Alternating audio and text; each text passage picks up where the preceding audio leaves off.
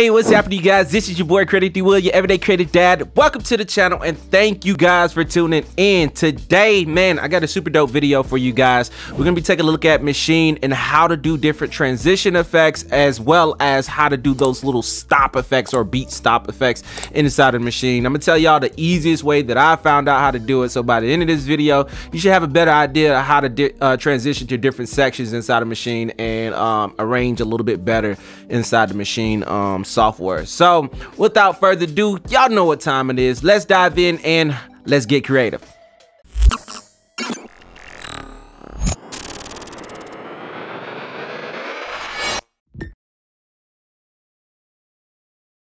Alright you guys, so welcome back. Hey, if this is your first time visiting this channel, then please consider hitting that thumbs up. And if you like this content, then please consider subscribing to the channel and hit that notification bell so you don't miss a thing and stay up to date. But alright you guys, so as you can see, I got an instance of Maschine 2 software pulled up here. We're gonna be taking a look at how to add these transitions. These, you, you notice right here, I have on my F1 group I have transitions, I have hits, and I got like my beat tag and everything like that. But anyway, so the transitions that I'm talking about are those sweeps, those uh the hits, those impacts, and all that other good stuff. And these beat stops right here. As you can see over here, I have um, little sections of these clips missing. I'm gonna show you guys how to take this and convert all of these to clips because that's the best way to do it. Inside a Maschine, when you first start arranging, it'll default to patterns. I wish that Native Instruments would default to clips because clips are a lot more, um, uh, what's the word I'm looking for? They're a lot more, I guess, like fluid. They're a lot more, um, you can just do more with clips. So, uh, all right, so let me go ahead and start this beat so you guys can hear what I'm talking about, specifically this transition and specifically this dropout right here. So just take a listen little lo-fi chill beat that I made. Nothing too crazy.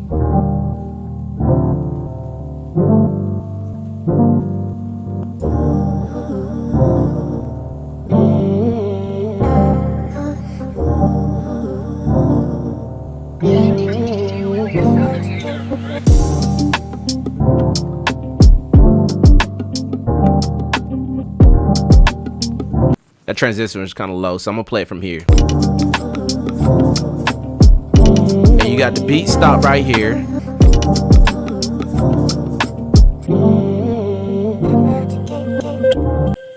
You see that that transition right there.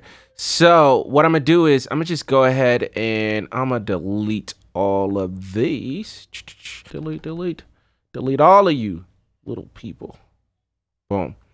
And I'm gonna go back over here to uh, ideas view and we're just gonna start building this beat.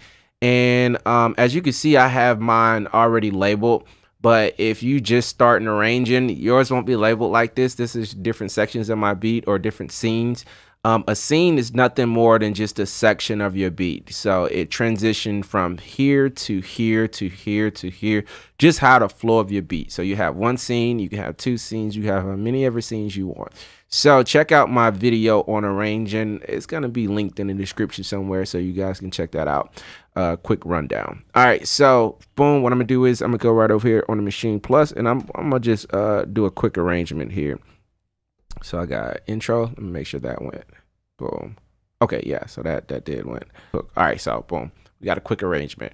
All right, so boom. I'm gonna play this really quick, and you're gonna notice just how everything just uh just bleeds right into another one.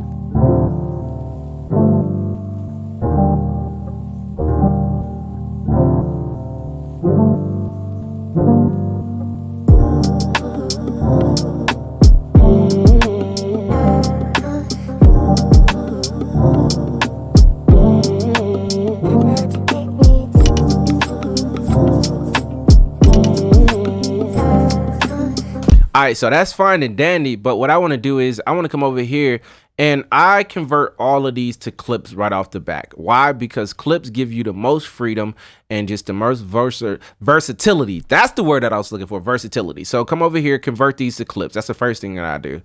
Boom. When I get done adding my initial, I guess, arrangement, I'll convert them all to clips. Boom.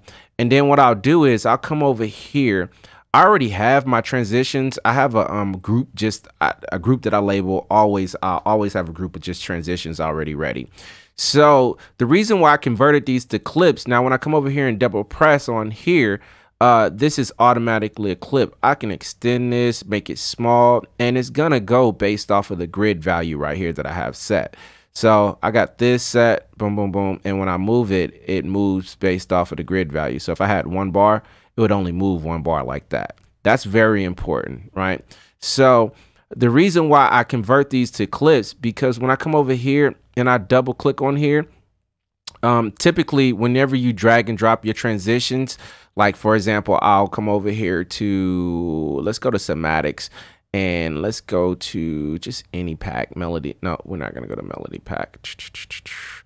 Uh, where are you at? Let me find some transitions. Vocal, nope. No, do, do, do, do, do. Let's go to Viper. Viper is a pretty good kit with some transitions in it. Where are you at? Transitions, vocal one, melodic serpent, lo-fi. Let's go there. Let's go to effects. Let's go to various. Oh, that's not that cool. All right, but anyway, so I got I got these loaded up here. Typically, when you load them up, it'll automatically be on sampler. Boom. So what you got to do is you got to come over here and change it from sampler to audio. Bow. So you see how when I change it to audio, it switched over. So I'm gonna scratch this out. Now, as long as I scratch it out, you see how I scratched it out over here?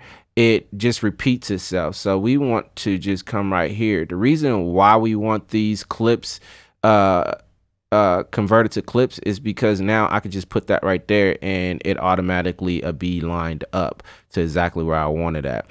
And the reason why I converted this to audio is because it syncs to the tempo. So for example, if I come right here and I play this out now.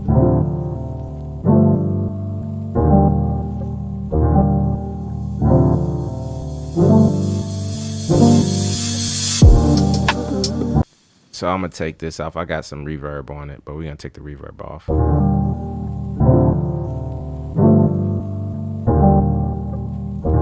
It's not a hard, hard transition, but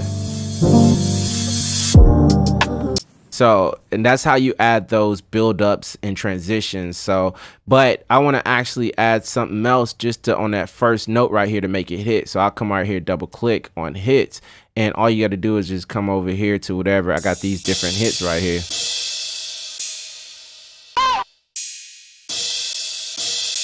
And I can just add it on the first one. Now for these hits, I typically uh, keep it on a sampler because it's on that first uh, uh, on the one. So let's go over here. Let's change this to one eighth. Boom, and I can just shorten this. So it's on the actual first beat. Boom. Don't really, don't really have to do this, but I just like to shorten it. Now come over here and add this too.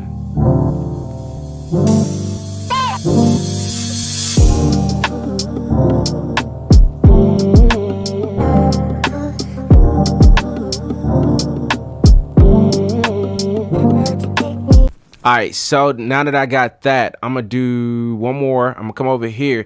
Now, if I wanted to add this transition to a separate part of the beat, another part of the beat, just hold down Alt on your keyboard and drag it over. So this is the beauty of clips. So as soon as I drag it over, it creates another um, another instance of that that uh, clip right there. So you hold down Alt and then you drag it over, and then this is transition. This transition to be over in this section as well.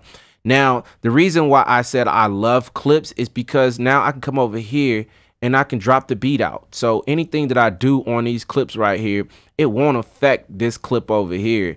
It's just gonna drop the beat out right here. So I can come right here, boom, and is this the hook? I don't know what that if it's the hook or not, but we don't care. So now that I got this um this this part of the beat taken out, I can even do it right here, come right here and drop the beat out or I can come back over here and I can take some stuff out of the beat right here.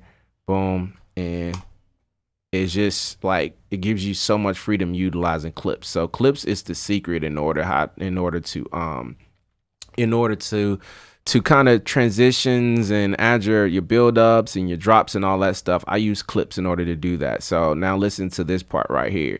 So I dragged this transition over, boom. And I also took the, the beat out right here. I can actually come back and bring it back a little bit and it automatically keeps what I already had there. So see, if I come back, it's taking it out. But then if I want to bring it back a little bit, boom, right there. So you can, man, clips are just like the best thing to happen to Maschine since Maschine started. They need to, they're getting closer to me. That it feels like they're, with clips, it's kind of like, this was their attempt to kind of go with the traditional DAW where you can control the different wave files and all the other stuff. So this is kind of our way of controlling like the, the whole group, I guess you would say. So, so this is the transition. This is the transition, and this is the drum. Matter of fact, and I'm gonna take this over here, and I'm gonna alt and drag this over, and we're just gonna add another thing right there. So I can even come over here and say, I like that. So we're gonna add that to it too. So. And mind you, the fact that I added that right there is totally different from this one. So this clip right here, boom, this clip is totally different from this clip. So I can add whatever transition I want at this clip right here or whatever sounds I want on this clip right here and it won't affect this clip back here. So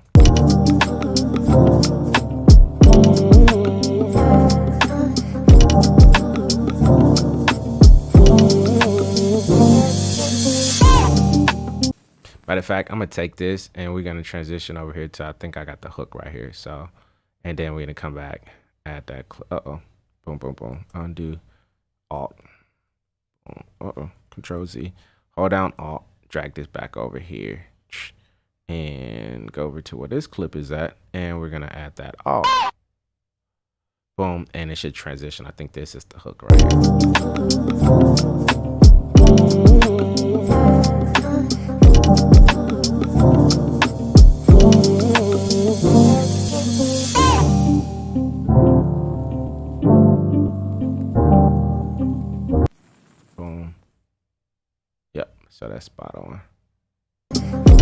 And if I wanted to, if I didn't want it that long, I can come over here and take it and it'll start by right here.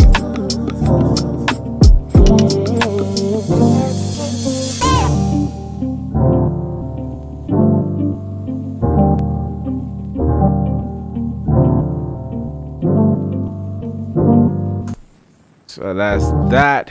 Boom. And that's pretty much it. That's how you actually add transitions. What I like to do is I like to go in here and I'll add automation and um, do different transitions effects. But you can check out my video on how to do automation and busing.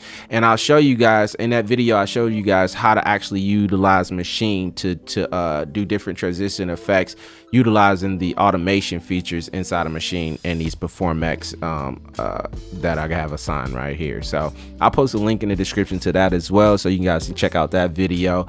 But this was a pretty short video. I just wanted to show you guys how to do those transitions because people keep asking me, yo, D, how do you actually transition to another scene? So that's how you transition to another scene. Uh, utilize clips. Clips are awesome. They're they're they're versatile. They allow for a little bit more flexibility inside a Maschine than the traditional patterns. Start off with arranging your beat, uh, utilizing the patterns, but then you can go and convert those pattern to clips, and that gives you a lot more freedom when you want to move stuff around and take stuff out and actually um, add different clips in different sections. So if you guys found value in this video, then please consider hitting that thumbs up again and hitting that subscribe button and that notification bell so you don't miss a thing. Um, yeah, so that was it. You guys be awesome, be creative, and don't let anybody stop you from doing what it is you want to do in life. Till next time, deuces. Bye.